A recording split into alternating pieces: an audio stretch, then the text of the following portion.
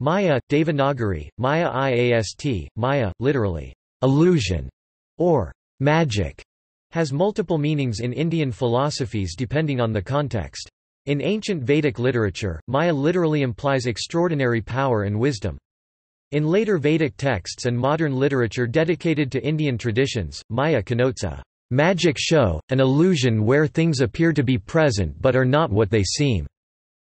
Maya is also a spiritual concept connoting that which exists, but is constantly changing and thus is spiritually unreal, and the power or the principle that conceals the true character of spiritual reality.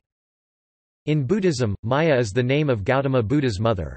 In Hinduism, Maya is also an epithet for goddess, and the name of a manifestation of Lakshmi, the goddess of wealth, prosperity and love.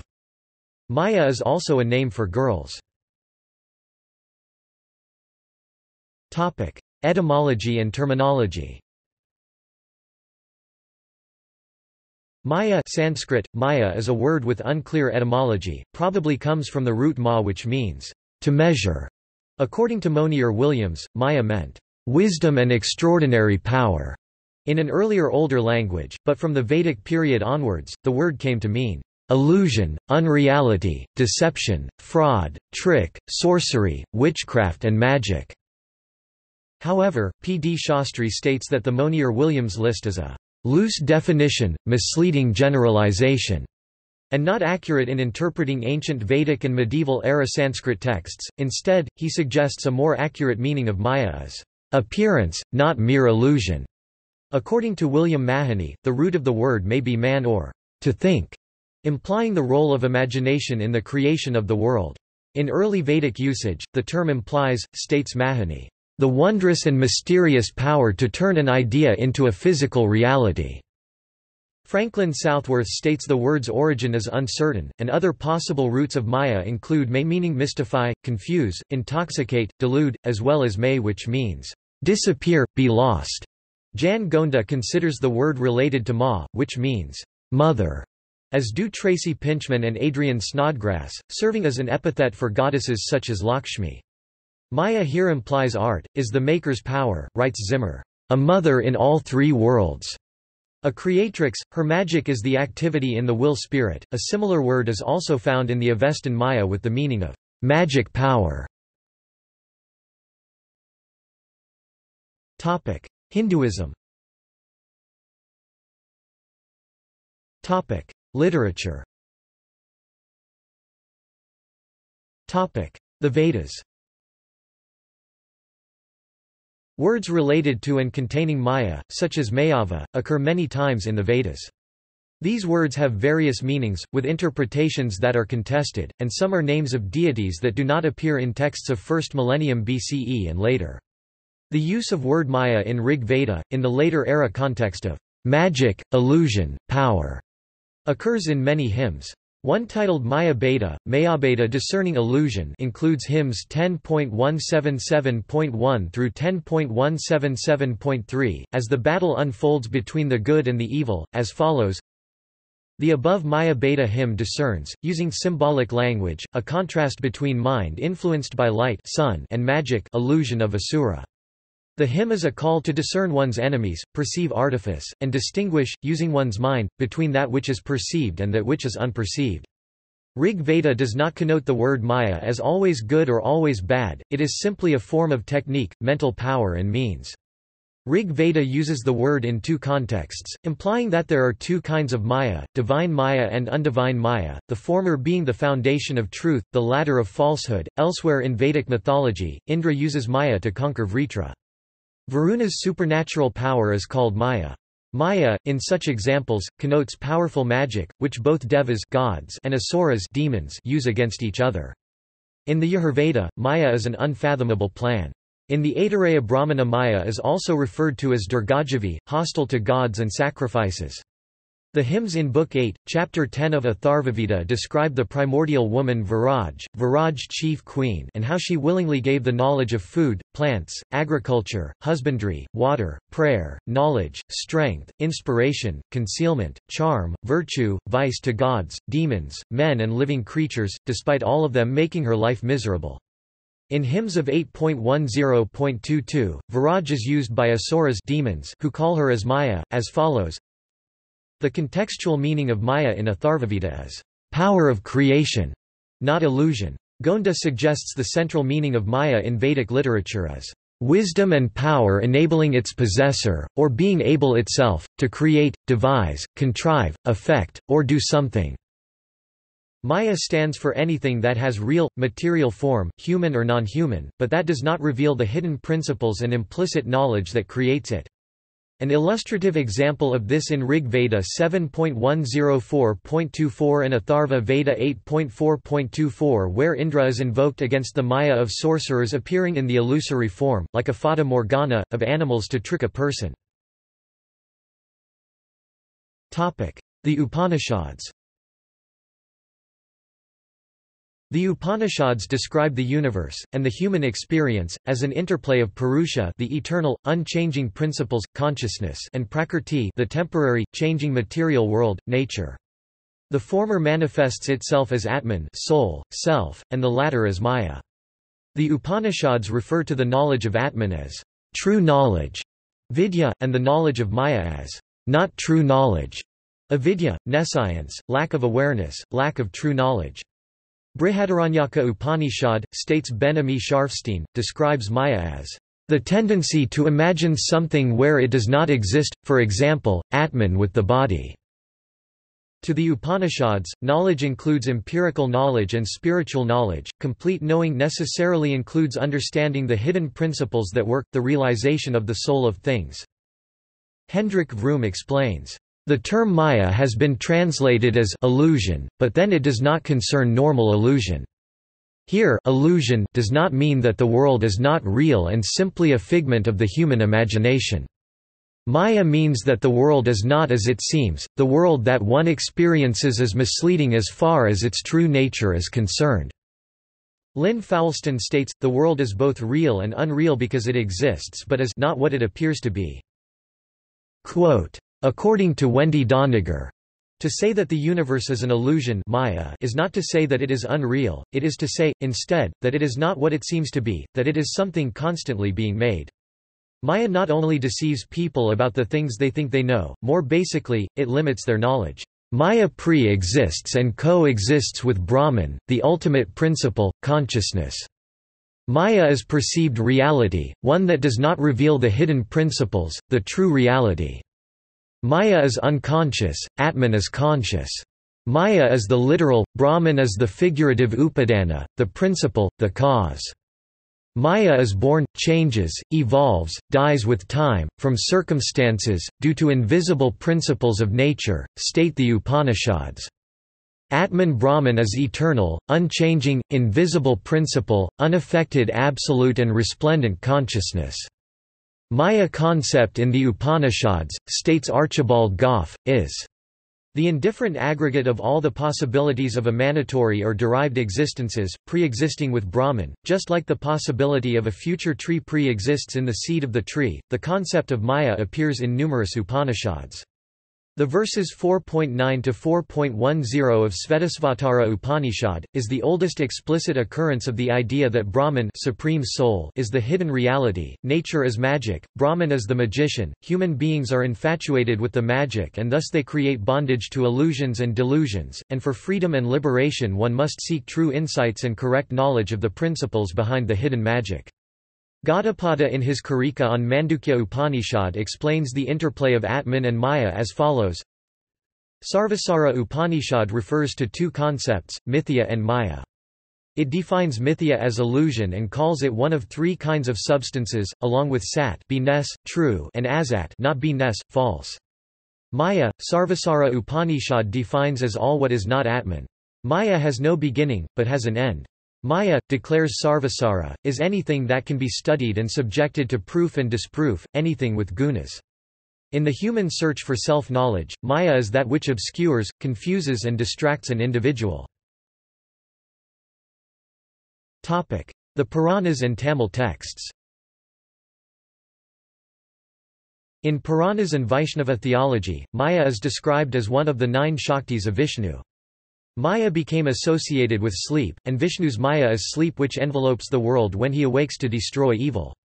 Vishnu, like Indra, is the master of Maya, and Maya envelopes Vishnu's body.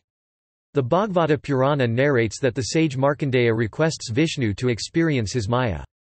Vishnu appears as an infant floating on a fig leaf in a deluge and then swallows the sage, the sole survivor of the cosmic flood. The sage sees various worlds of the universe, gods etc. and his own hermitage in the infant's belly. Then the infant breathes out the sage, who tries to embrace the infant, but everything disappears and the sage realizes that he was in his hermitage the whole time and was given a flavor of Vishnu's Maya.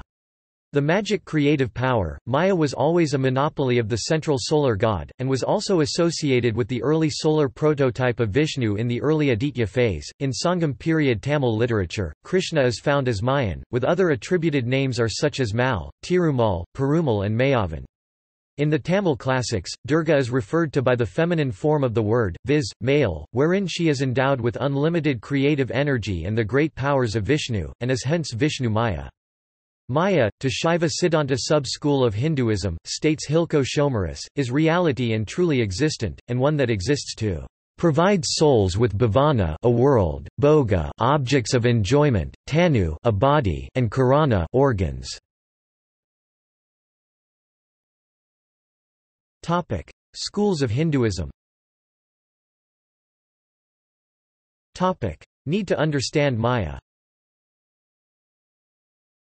The various schools of Hinduism, particularly those based on naturalism rationalism or ritualism questioned and debated what is Maya, and the need to understand Maya. The Vedanta and Yoga schools explained that complete realization of knowledge requires both the understanding of ignorance, doubts and errors, as well as the understanding of invisible principles, incorporeal and the eternal truths. In matters of self-knowledge, stated Shankara in his commentary on Taittiriya Upanishad, one is faced with the question, "'Who is it that is trying to know, and how does he attain Brahman?' It is absurd, states Shankara, to speak of one becoming himself, because, "'Thou art that' already. Realizing and removing ignorance is a necessary step, and this can only come from understanding Maya and then looking beyond it. The need to understand Maya is like the metaphorical need for road. Only when the country to be reached is distant, states Shankara, that a road must be pointed out. It is a meaningless contradiction to assert, I am right now in my village, but I need a road to reach my village. It is the confusion, ignorance and illusions that need to be repealed. It is only when the knower sees nothing else but his self that he can be fearless and permanent. Vivekananda explains the need to understand Maya as follows abridged. The Vedas cannot show you Brahman, you are that already. They can only help to take away the veil that hides truth from our eyes. The cessation of ignorance can only come when I know that God and I are one, in other words, identify yourself with Atman, not with human limitations. The idea that we are bound is only an illusion Maya. Freedom is inseparable from the nature of the Atman. This is ever pure, ever perfect, ever unchangeable. The text Yoga Vasistha explains the need to understand Maya as follows. Just as when the dirt is removed, the real substance is made manifest, just as when the darkness of the night is dispelled, the objects that were shrouded by the darkness are clearly seen, when ignorance maya is dispelled, truth is realized. Samkhya school The early works of Samkhya, the rationalist school of Hinduism, do not identify or directly mention the Maya doctrine. The discussion of Maya theory, calling it into question, appears after the theory gains ground in Vedanta school of Hinduism. Vikaspati Misra's commentary on the Samkhyakarika, for example, questions the Maya doctrine saying, "...it is not possible to say that the notion of the phenomenal world being real is false, for there is no evidence to contradict it." Samkhya school steadfastly retained its duality concept of prakrti and purusha, both real and distinct, with some texts equating prakrti to be maya that is, not illusion, but real, with three gunas in different proportions whose changing state of equilibrium defines the perceived reality. James Ballantyne, in 1885, commented on Kapila's Sankhya aphorism 5.72 which he translated as, Everything except nature and soul is uneternal. According to Ballantyne, this aphorism states that the mind, ether, etc. in a state of cause not developed into a product are called nature and not intellect. He adds, that scriptural texts such as Shvetashvatara Upanishad to be stating, he should know illusion to be nature and him in whom is illusion to be the great Lord and the world to be pervaded by portions of him, since soul and nature are also made up of parts, they must be uneternal.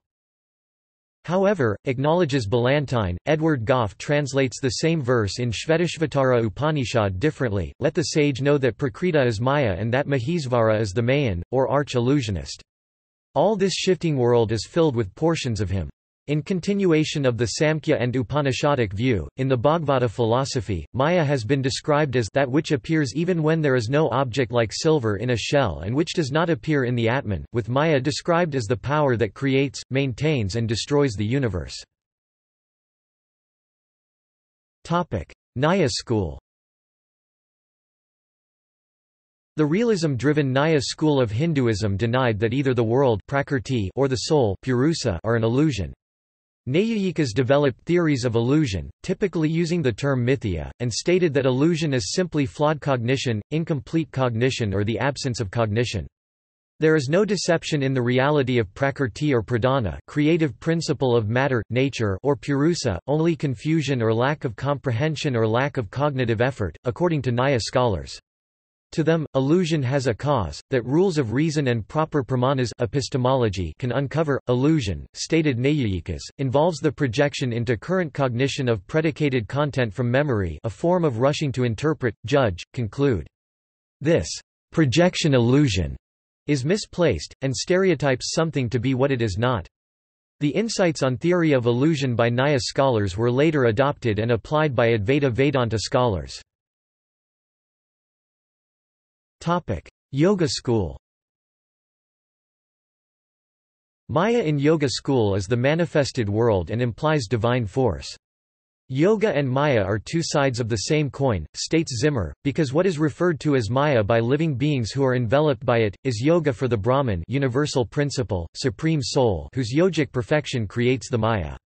Maya is neither illusion nor denial of perceived reality to the Yoga scholars, rather yoga is a means to perfect the creative discipline of mind, and body-mind force.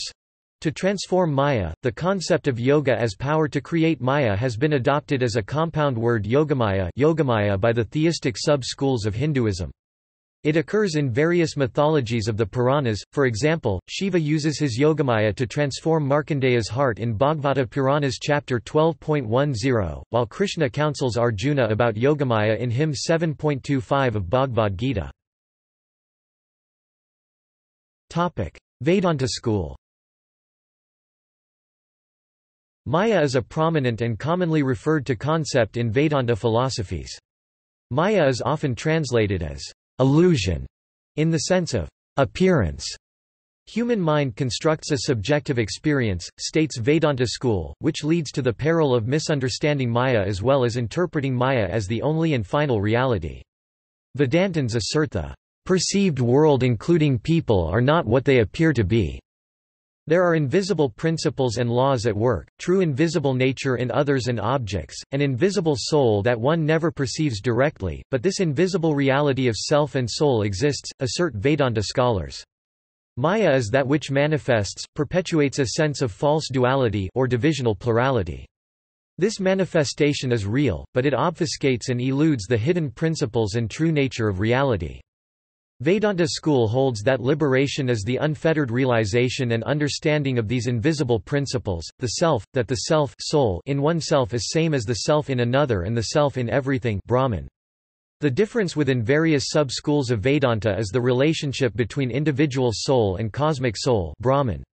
Non-theistic Advaita sub-school holds that both are one, everyone is thus deeply connected oneness, there is God in everyone and everything, while theistic Dvaita and other sub-schools hold that individual souls and God's soul are distinct and each person can at best love God constantly to get one's soul infinitely close to his soul. Advaita Vedanta in Advaita Vedanta philosophy, there are two realities, Vyavaharika empirical reality and Paramarthika absolute, spiritual reality.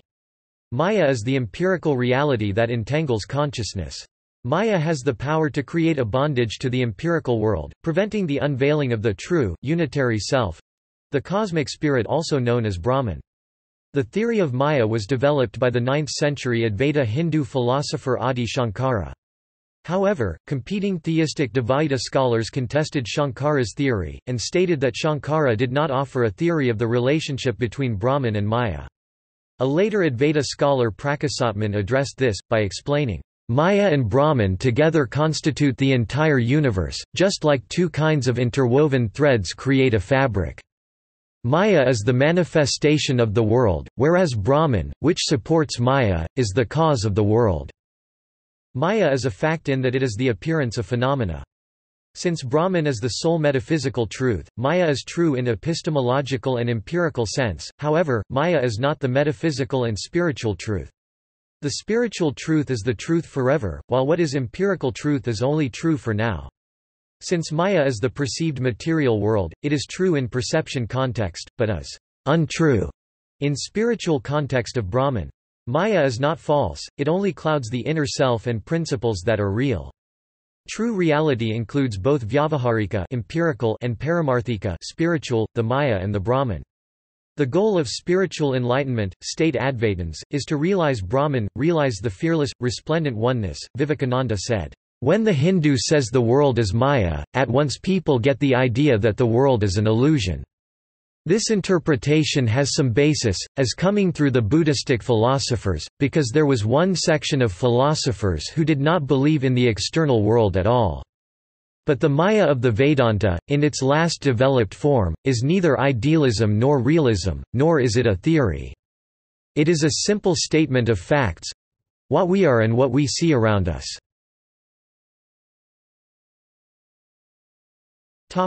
Buddhism The early Buddhist texts contain some references to illusion, the most well-known of which is the Phenapindupama Sutta in Pali and with a Chinese Agama parallel at Sa 265 which states, Suppose, monks, that a magician or a magician's apprentice would display a magical illusion at a crossroads. A man with good sight would inspect it, ponder, and carefully investigate it, and it would appear to him to be void hollow coreless asaraka. For what core sorrow could there be in a magical illusion mayaya? So too, monks, whatever kind of cognition there is, whether past, future, or present, internal or external, gross or subtle, inferior or superior, far or near, a monk inspects it, ponders it, and carefully investigates it, and it would appear to him to be void rittaka, hollow tucchaka, coreless asaraka. For what core sorrow could there be in cognition? One sutra in the Agama collection known as Mahasutras of the Mula Sarvastivadin tradition entitled the Mayajala net of illusion deals especially with the theme of Maya. This sutra only survives in Tibetan translation and compares the five aggregates with further metaphors for illusion, including, an echo, a reflection in a mirror, a mirage, sense pleasures in a dream and a madman wandering naked. These texts give the impression that Maya refers to the insubstantial and essence-less nature of things as well as their deceptive, false and vain character. Later texts such as the Lalitavistara also contain references to illusion. Complexes have no inner might, are empty in themselves, rather like the stem of the plantain tree, when one reflects on them, like an illusion which deludes the mind like an empty fist with which a child is teased. The Salistamba Sutra also puts much emphasis on illusion, describing all dharmas as being characterized as illusory and vain, hollow, without core. Likewise the Mahavastu, a highly influential Mahasamgakan text on the life of the Buddha, states that the Buddha has shown that the aggregates are like a lightning flash, as a bubble, or as the white foam on a wave. Theravada In Theravada Buddhism Maya is the name of the mother of the Buddha as well as a metaphor for the consciousness aggregate vijnana. The Theravada monk Bhikkhu Bodhi considers the Pali Phenapindupama Sutta one of the most radical discourses on the empty nature of conditioned phenomena. Bodhi also cites the Pali commentary on this sutra, the Saratthappakasini SPK, which states, Cognition is like a magical illusion maya in the sense that it is insubstantial and cannot be grasped. Cognition is even more transient and fleeting than a magical illusion. For it gives the impression that a person comes and goes, stands and sits, with the same mind, but the mind is different in each of these activities. Cognition deceives the multitude like a magical illusion Maya. Likewise, Bhikkhu Katukurunde Nyanananda Thera has written an exposition of the Kalakarama Sutta which features the image of a magical illusion as its central metaphor. Sarvastivada The Nyayanusara Sastra, a Vaibhasika response to Vasubandhu's Abhidharmakosha cites the Mayajala Sutra and explains, Seeing an illusory object maya, although what one apprehends is unreal, nothing more than an illusory sign. If one does not admit this much, then an illusory sign should be non-existent. What is an illusory sign? It is the result of illusion magic. Just as one with higher gnosis can magically create forms, likewise this illusory sign does actually have manifestation and shape. Being produced by illusion magic, it acts as the object of vision. That object which is taken as really existent is in fact ultimately non-existent. Therefore, this Mayajala sutra states that it is non-existent, due to the illusory object there is a sign but not substantiality. Being able to beguile and deceive one, it is known as a deceiver of the eye. Mahayana In Mahayana Sutras, illusion is an important theme of the Prajnaparamita Sutras. Here, the magician's illusion exemplifies how people misunderstand and misperceive reality, which is in fact empty of any essence and cannot be grasped. The Mahayana uses similar metaphors for illusion, magic, a dream, a bubble, a rainbow, lightning, the moon reflected in water, a mirage, and a city of celestial musicians. Understanding that what we experience is less substantial than we believe is intended to serve the purpose of liberation from ignorance, fear, and clinging and the attainment of enlightenment as a Buddha completely dedicated to the welfare of all beings. The Prajnaparamita texts also state that all dharmas phenomena are like an illusion, not just the five aggregates, but all beings, including bodhisattvas and even nirvana. The Prajnaparamita Ratnaguna Samcayagatha states, this gnosis shows him all beings as like an illusion, resembling a great crowd of people, conjured up at the crossroads, by a magician, who then cuts off many thousands of heads. He knows this whole living world as a magical creation, and yet remains without fear. RGs 119 and also those who teach Dharma, and those who listen when it is being taught, those who have won the fruition of a worthy one, a solitary Buddha, or a world savior, and the nirvana obtained by the wise and learned all is born of illusion, so has the Tathagata declared, RGs 2-5 according to Ven. Dr. Huifeng, what this means is that bodhisattvas see through all conceptualizations and conceptions, for they are deceptive and illusory, and sever or cut off all these cognitive creations. Depending on the stage of the practitioner, the magical illusion is experienced differently. In the ordinary state, we get attached to our own mental phenomena, believing they are real, like the audience at a magic show gets attached to the illusion of a beautiful lady. At the next level, called actual relative truth, the beautiful lady appears, but the magician does not get attached. Lastly, at the ultimate level, the Buddha is not affected one way or the other by the illusion. Beyond conceptuality, the Buddha is neither attached nor non-attached. This is the middle way of Buddhism, which explicitly refutes the extremes of both eternalism and nihilism. Nagarjuna's Madhyamaka philosophy discusses nirmita, or illusion closely related to maya. In this example, the illusion is a self-awareness that is, like the magical illusion, mistaken.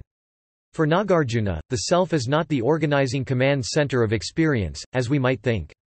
Actually, it is just one element combined with other factors and strung together in a sequence of causally connected moments in time. As such, the self is not substantially real, but neither can it be shown to be unreal.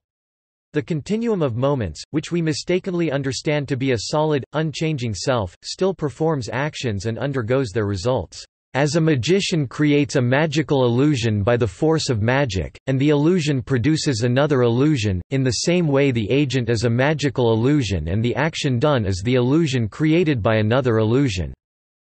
What we experience may be an illusion, but we are living inside the illusion and bear the fruits of our actions there. We undergo the experiences of the illusion. What we do affects what we experience, so it matters. In this example, Nagarjuna uses the magician's illusion to show that the self is not as real as it thinks, yet, to the extent it is inside the illusion, real enough to warrant respecting the ways of the world. For the Mahayana Buddhist, the self is maya like a magic show and so are objects in the world. Vasubandhu's Trisvabhavanirdesa, a Mahayana Yogacara mind only, Text, discusses the example of the magician who makes a piece of wood appear as an elephant. The audience is looking at a piece of wood but, under the spell of magic, perceives an elephant instead. Instead of believing in the reality of the illusory elephant, we are invited to recognize that multiple factors are involved in creating that perception, including our involvement in dualistic subjectivity, causes and conditions, and the ultimate beyond duality. Recognizing how these factors combine to create what we perceive ordinarily, ultimate reality appears. Perceiving that the elephant is illusory is akin to seeing through the magical illusion, which reveals the dharmadhatu, or ground of being. Tantra Buddhist Tantra, a further development of the Mahayana, also makes use of the magician's illusion example in yet another way. In the completion stage of Buddhist Tantra, the practitioner takes on the form of a deity in an illusory body which is like the magician's illusion. It is made of wind, or prana, and is called illusory because it appears only to other yogis who have also attained the illusory body. The illusory body has the markings and signs of a Buddha. There is an impure and a pure illusory body, depending on the stage of the yogi's practice. The concept that the world is an illusion is controversial in Buddhism. The Buddha does not state that the world is an illusion, but like an illusion.